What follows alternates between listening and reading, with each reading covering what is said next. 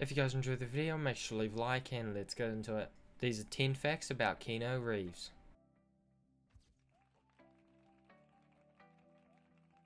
Keanu Reeves was born on the 2nd of September 1964.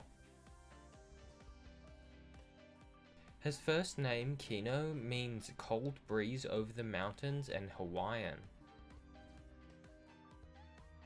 Keanu Reeves was paid $10 million for the first Matrix film, but ended up making over 35 million.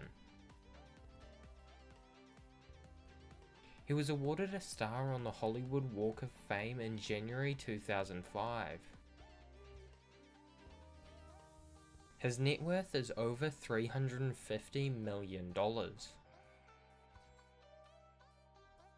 He is a big fan of ballroom dancing. He gave $50 million of his $70 million earned from the Matrix films to the special effects and makeup staff.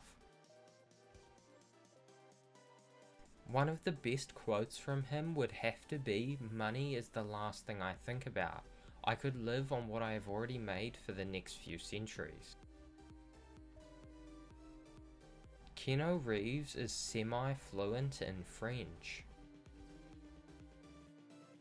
He lost his daughter Ava who was stillborn in 2000.